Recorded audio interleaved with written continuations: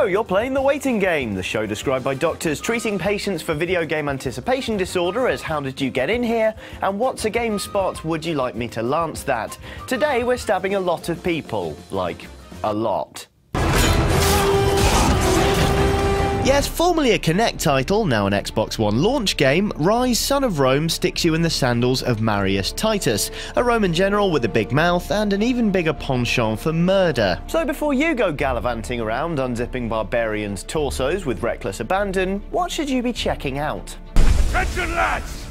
Well, first up, let's give you something to watch, shall we? Obviously, there are loads of films set in Rome, some of them so blindingly obvious they're barely worth mentioning. My name is Maximus Decimus Meridius. We know, dear. Let's see if we can't do better, shall we? HBO's somewhat unimaginatively titled Rome is a fantastically vibrant depiction of life in the ancient republic, from the political elite to the lowly soldier.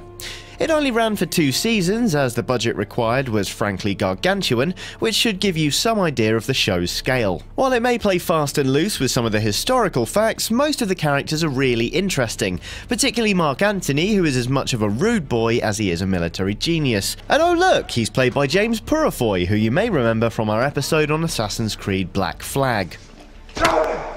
As well as Mr. Purefoy, there's a raft of great performances from British and Irish actors like Ciarán Hinds, Polly Walker, and Kevin McKidd, who voiced Soap MacTavish in Modern Warfare 2. It's basically a lot of screwing and stabbing, but there is a decent amount of political intrigue in there, and if nothing else, it should give you a sense of attachment to the Republic of Rome, for which, as we said earlier, you're about to kill a whole load of people. Now, of course, if you're about to play an entire game as a Roman general, it's probably a good plan to get some idea of how the Romans actually fought. To meet that end, you could make no finer choice than Total War Rome 2, a strategy game that pits you against the innumerable enemies of the Roman Empire. Putting you in charge of entire armies, the gameplay is decidedly different from that of Ryse, but you can believe me when I say this game is utterly fantastic. On the other hand, Total War Rome 2 is a pretty beefy PC game, and if you don't have a gaming rig, chances are you won't want to build one just before buying an Xbox One. So if you still need a Roman gaming fix, why not invite some friends over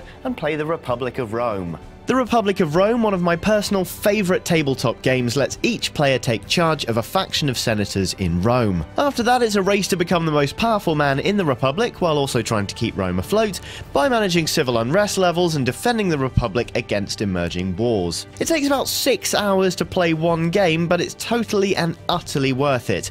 You make speeches, try and assassinate one another, basically it's the most hilarious farce of a board game I've ever had the pleasure of playing. If you want to sharpen your mind for the political maelstrom that is ancient Rome, this is the best way to do it. Just watch out for the slightly dodgy senator illustrations They're a bit shit.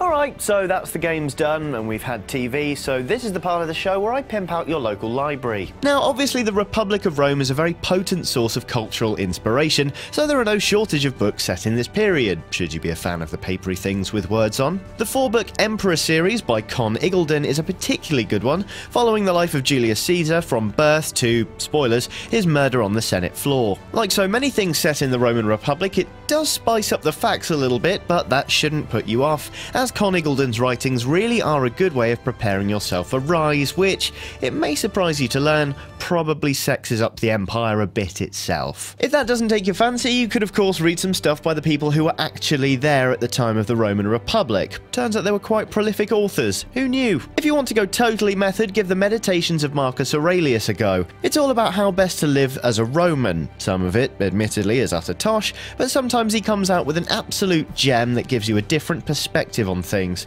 Just make sure you're wearing underwear should you decide to venture out in a toga. Anyway, that's it for this week. Hope you can make it to launch day without tearing your hair out. If you want to check out any of the stuff we recommended in today's show, or Ryse itself for that matter, you should follow the link on screen now for a useful Amazon list. Until next time, as ever, you can leave us a comment or tweet using the hashtag GSWaitingGame. What are you looking forward to? Let us know. Bye for now.